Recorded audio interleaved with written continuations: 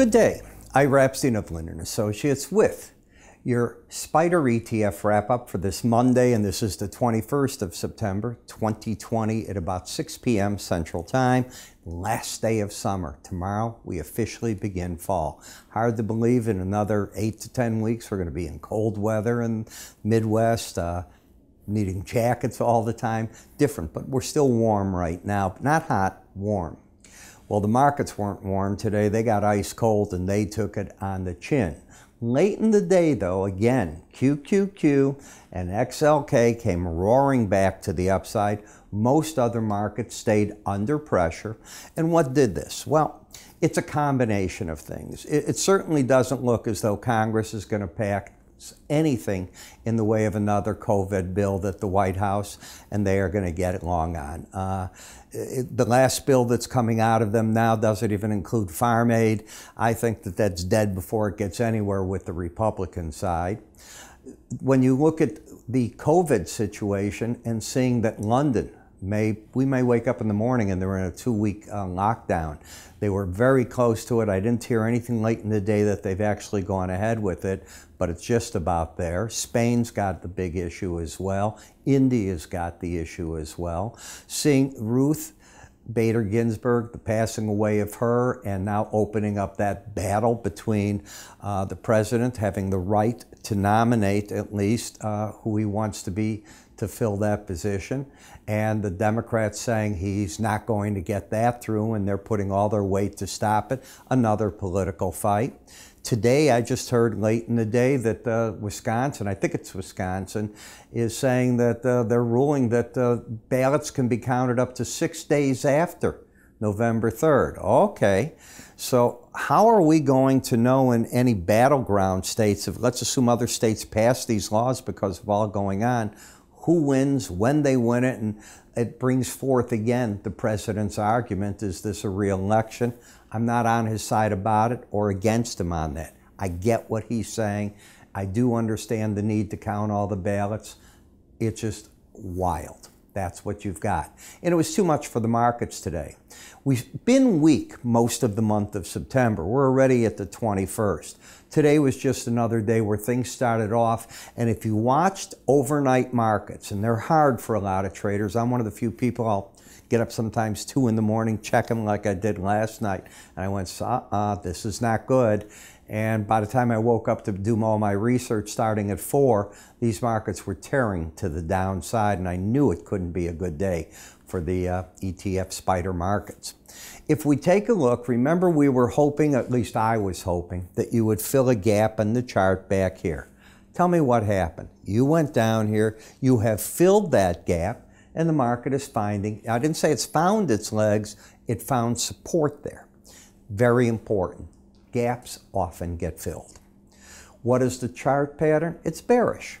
You have a pattern of lower highs, lower lows. That's classic bearishness. What would negate it on the current pattern is taking out 117.30, the last rally high.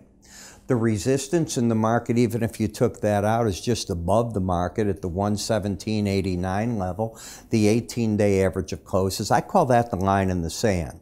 And the reason I call it that is because if markets rally to it, it's often a resistance point. When they first break down, it's not uncommon that it becomes on that break a target that could offer the first support level. You can see how you're playing with it. From there, it doesn't have to hang there much, but it often, you'll see patterns that do that, and then it decides which way it wants to continue on with everything that's going through there. So if you continued breaking, on just the moving averages, more supports uncounted at 106.50, and then the 200 day average comes in at the 98.18. What about the Bollinger Bands? They're right here at 108 and a quarter. Now, when's the last time we hit a Bollinger Band on XLK? You have to go all the way back here into the July timeframe to see it. It's not often. So missing it wouldn't surprise me. It's the first thing you have to understand is the nature of different markets. The stock market, especially the FANG stocks and things that follow that, have been the strongest sector. And when you break down hard, some people like to step in to what used to be the strength and they still think is the best companies for a COVID economy into it. And that, that could be what was happening to a degree today. Is the market oversold? You betcha. You got both numbers trying to get under 20 today. So they, today they're under 20. They were under 20 on Friday, not the day before. To embed means to lock in and change from oversold to locking in a bearish trend that stays in place until the red line closes over 20 again. You have to get to three days in a row to get it, so tomorrow's a crucial day in this market. We'll see if it wants to embed. It has not done a good job of trying to embed or succeeding for months on end. When we come to SMH, again, a market that is now approaching oversold category. Any readings under 30 that aren't going sideways under 20 are oversold. The trend of the market turned down with today's action lower highs, lower lows, resistance at 171.86. The bears, if they want to defend this position, they can't let the market get over 172.18. Downside target could be the lower Bollinger Band at 162.41, but as you can see, it's rare that you hit that lower band. In XLI, we have a pattern of lower highs, lower lows. Now you have gone from upper Bollinger Band to lower band in a 24 hour period. That is very unusual. But the trend is down, the bias is down, momentum is down. Look for the pros to be defending or selling at 78.10, which stops over Friday's high, in my opinion, which would be the uh, 80.23 level. So, interesting trade. We'll see what they do with that. The energy sector, you got as low today as 31.43. The first time you move away from a Bollinger Band and you fall back to it is where I predict that's where the pros will take some money off the table. You're in a downtrend, wouldn't surprise me, and it's oversold. I wouldn't be surprised if some short coverings going on there.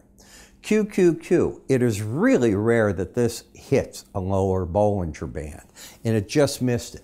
Today, I believe that it got about a 10% correction intraday and then snapped back, as you can see oversold market in a downtrend. Be interesting to see if it hits that. There's good support between 258.90 and 254.75, but the trend is down. However, it's very oversold and not locked into that downtrend. You have absolutely no trend in the emerging markets, the EFA. You have a higher high, lower low pattern. So this market today, I believe, stopped out anyone that was trying to hold on here at that 18 day average. The market has been overbought. It has made a run and just missed it up here. As you can see, its upper Bollinger Band by 10 cents.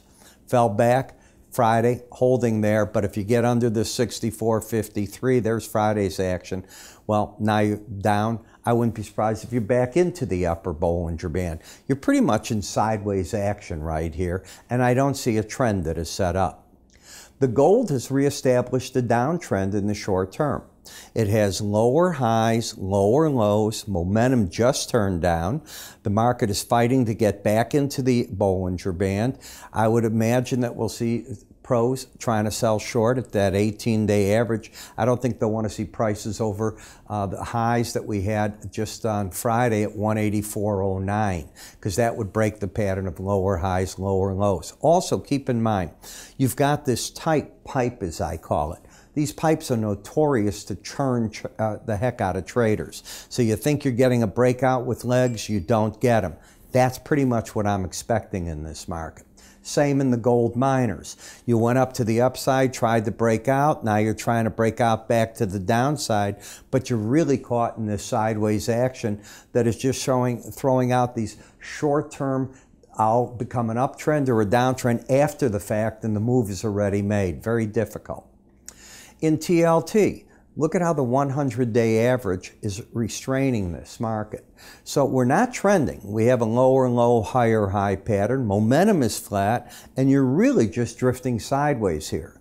Now, tomorrow we get Fed Chair Powell and uh, Treasury Secretary Mnuchin speaking, speaking before Congress on the CARES Act and how the lending and all has gone. You know there'll be other questions that come out of this, so you want, might want to look at it. I've already seen the prepared text, and again, Mr. Powell makes it very clear COVID 19 is a real fear for this economy, it's a real headwind.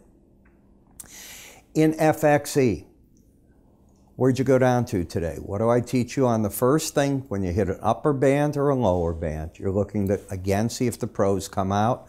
That's what I think is going on. That's the arrow. You know, we cover all this in a lot more information, even if you're a spider ETF trader, because we're futures people.